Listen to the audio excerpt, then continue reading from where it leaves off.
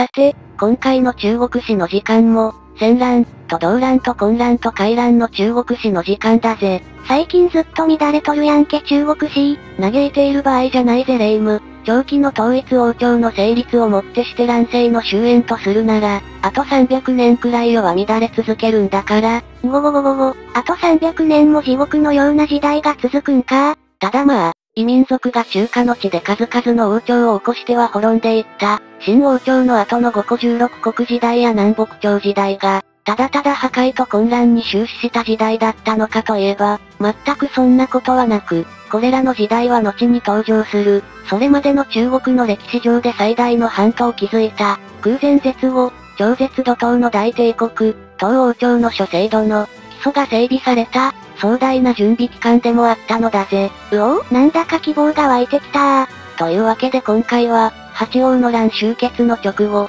五個十六国時代の始まり、八王の乱の勝利者芝越の死と、悲惨な悲惨な芝一族の末路、そして新王朝の滅亡について語っていくぜ。やっぱり凄惨な話じゃないのやだー。これから話していく破壊と創造の時代の、初めの部分だからね。まずは徹底的に、秩序がぶっ壊れていくぞー。あびゃびゃー。この動画は歴史の真実とロマンを追い求める、最近運動不足で太り気味人間の提供でお送りします。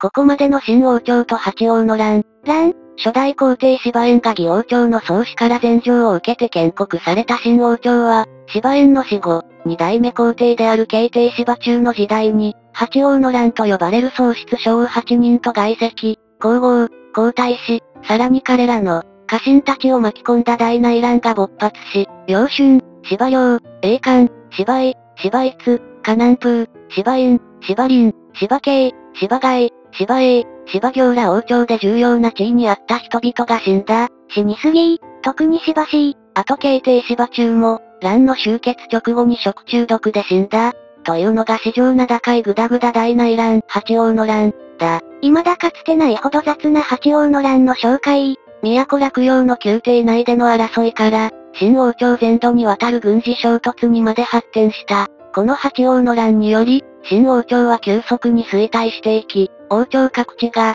荒廃し、流民が大量に発生したのはもちろんのこと、傭兵として戦場に投入された異民族たちは急速に力をつけ、それぞれ団結し王朝内に独立国家を打ち立てるようになっていったのだぜ。それが全長、官や西漢、公職といった国であり、これらの国が成立した。304年をもって五個十六国時代の始まりとするのだぜ。ただまあ、こちらの地図では盲信王朝が滅び、東新王朝が成立しているが、今回はまだ東新が成立する前、306年の八王の乱の終結から、316年の新王朝の滅亡までの流れを紹介していこう。主に八王の乱の最終勝利者芝越が権力を握った、新王朝と、郷土出身の遊園が建国した漢前朝との攻防について、見ていくぜ。わかったわ。さて、306年11月、慶帝芝中が死に、芝氏が即位した。彼が後に海帝と呼ばれる、新王朝三代目の皇帝だぜ。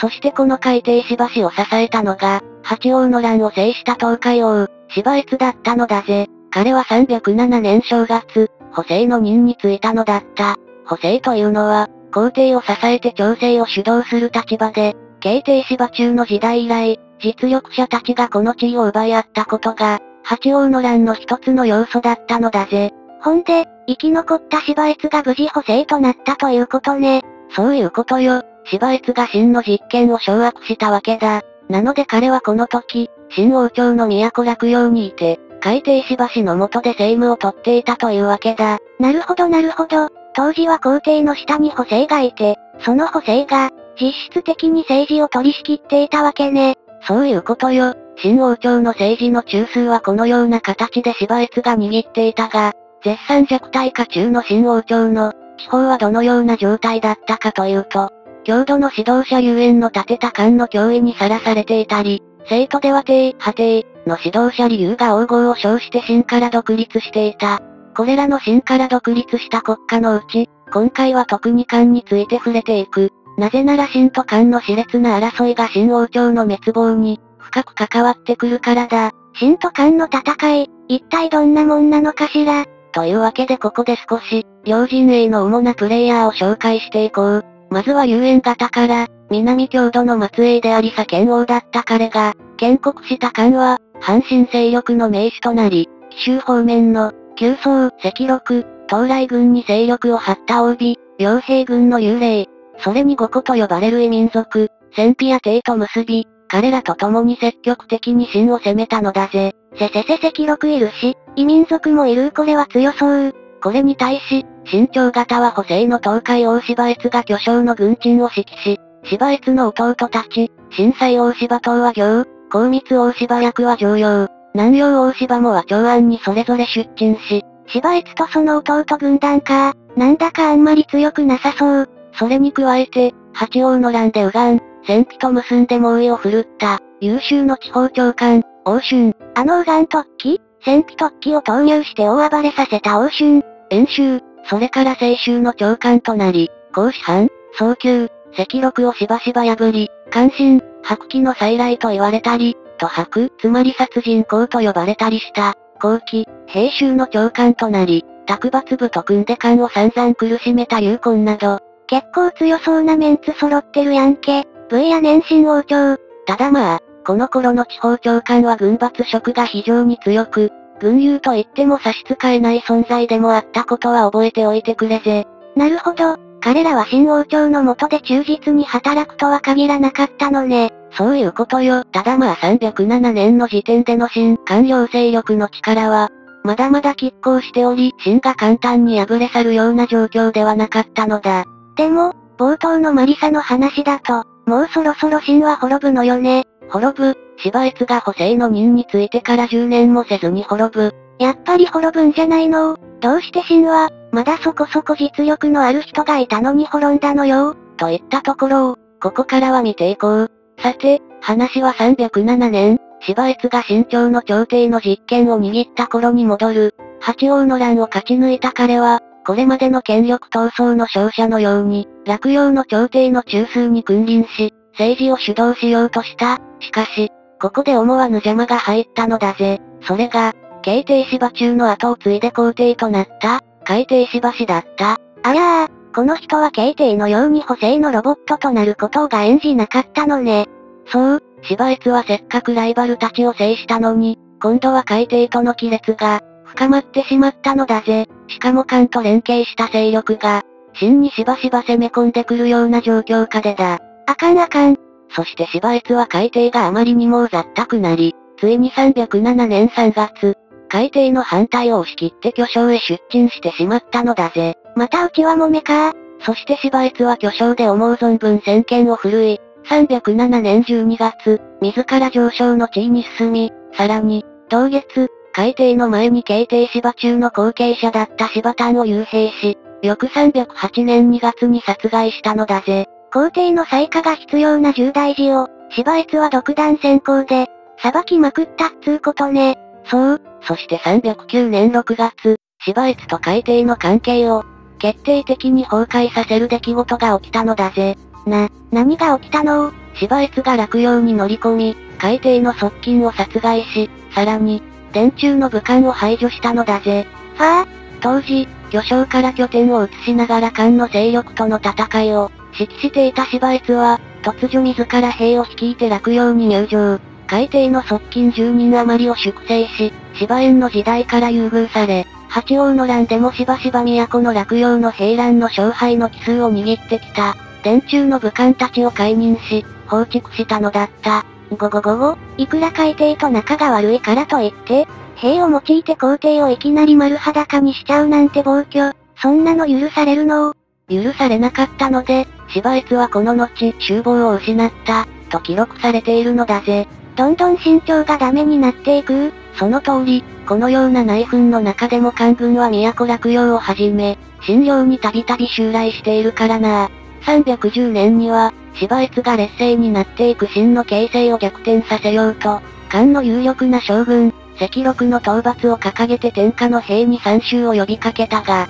将兵は全く集まってこなかったという。芝越、まさかの援軍ゼロ、人望ゼロ、どうしてこうなったどうしてこうなった乱暴にことを運びすぎたんだよな。関との戦いの中で早急に、自身に権力を集中させて南極を乗り切ろうとしたのだが、その行動は周囲からの支持を得られなかったのだぜ。さて、人望を失い援軍を得られなかった芝越は、それでも310年11月、4万の軍を率いて赤六討伐に動いた。人望なくていけるの芝越。まあこの軍団は、真の実権を握る芝越が全力でかき集めた。かなりの精鋭だったようで、そこに落葉の主だった官僚たちも引き連れ、まさに新王朝が残していた力を振り絞った陣容だったのだぜ。そ、それならいけるかも。ただ、この軍の動員により、落葉の戦力は沸騰してしまい、空っぽ同然になった都の治安は大いに乱れ、盗賊が、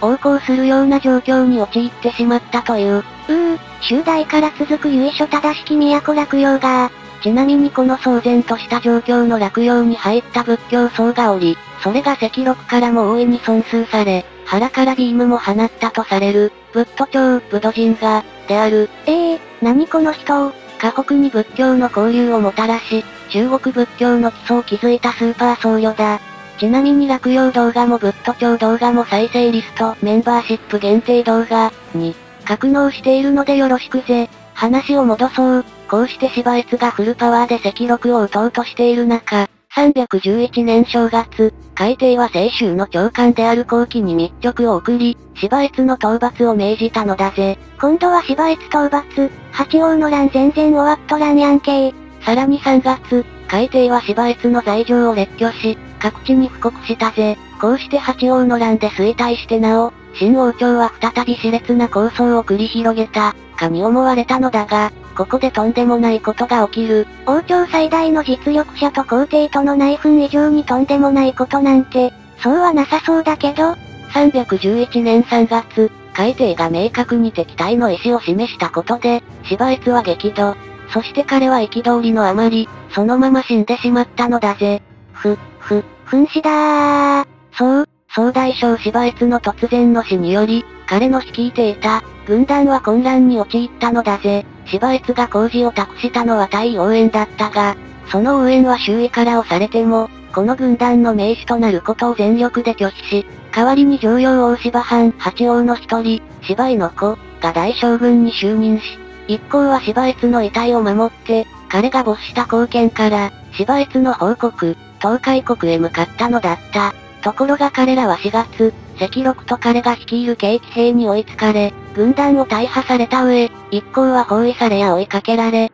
殺されていったのだ。ひえー、この時、14万まで増えた一行のほとんどが殺され、大将軍となっていた常用大芝藩をはじめ、喪失の将王も、次々に捕らえられ殺されていったのだった。しかしこの時、皆が命乞いをする中で常用大芝藩だけは堂々としていたので、赤六は感心し、生かしてこれを用いようとも考えたというが、結局真の喪失を生かすことはできず、芝藩は殺されてしまったぜ。ああ、また芝越から工事を託された応援も殺され、芝越の遺体は棺を、破壊された後、焼き捨てられてしまった。芝越の遺体さらに悲劇はこれで終わらず、芝越の死の方が落葉に入ると、芝越配下の武将たちは、彼の夫人廃止と後継ぎ芝妃を報じて、東へ向かったのだぜ。これに落葉城内に残った兵士や民衆も、かなりの数が従ったのだぜ。あ、あ、あかん。そしてその一行が巨匠の近辺を通った時、赤六軍と遭遇してしまったのだぜ。あばばばばばばば。そして大体みんな殺された。こうして芝越の後継者芝美をはじめ、36王とも48王ともされる、喪失将が殺されてしまったのだぜ。数字がアバウトすぎるけど、それにしても死にすぎただ芝越の木崎廃止は奴隷として売り飛ばされたため生き延び、後に東進王朝の庇護下で天寿を全うできている。うー、悲惨すぎるさて、こうして芝越とその一等将はすりつぶされてしまったのだが、まだ一応、落葉で海底に従っていた喪失将や帝神、彼らに従う人士たちは生き残っていたぜ。うー、頑張れ、頑張れ新王朝。ところがその落葉では、芝越の死から3ヶ月も経っていない。311年の5月、飢饉が発生してしまったのだぜ。うぼわー。こうして管理ですらその8割9割が都から逃げ去り、さらに追い打ちをかけるように、官軍が攻め込んできたのだぜ。うわー。劉宗が送り込んだ有用、大平の大軍の攻撃を受けた落葉は、あっけなく陥落、海底は捕らえられた。そして落葉城内では凄まじい略奪と殺戮が、行われ、皇太子を含む喪失省以下3万人余りが殺され、宮城や僧病、諸官府は焼き払われ、歴代の所領は暴かれたのだった。うわぁこうして海底は漢の都平洋に連行され、新王朝は滅亡したぜ。一回目とりあえずこの落葉陥落をもって秦は実質的に滅亡したとされ、304年に成立した漢による、311年の落葉陥落を含む、316年の新王朝滅亡までの秦への断続的な攻撃を、海底の年号、栄華、から栄華の乱、と呼ぶのだぜ。ただまあ、下の栄華年間の期間を見るとわかる通り、304年から316年までとする栄華の乱は、栄華年間より早く始まり、栄華年間が終わってからも続いていく。311年終結説もある。うーん、はっきりしない乱だわね。さて、この落葉陥落の後、平洋に拉致された海底は、はじめこそ漢の皇帝郵送に優遇され、海警軍港に報じられたのだが、長安を中心に漢中で新王朝を維持する便定芝行の存在を、疎ましく思うようになった郵送に、313年、宴席の場で恥ずかしめられた挙句、毒殺されて果てた、懐亭、海底をやっちまった郵送は、こちらの動画でも取り上げているので、よろしくぜ。さて、311年海底が落葉の落城と共に捉えられた後、各地で新たな真の皇帝を擁立しようとする動きがあった。江南の県領では、後の東晋王朝の初代皇帝芝栄を、名手に押す動きが起こり、その他にも後期や王春といった軍友が、それぞれ皇太子を立てたのだぜ。しかし、このような混乱する状況下で、漢に奪われた長安を奪回した、旧新勢力が擁立したのが、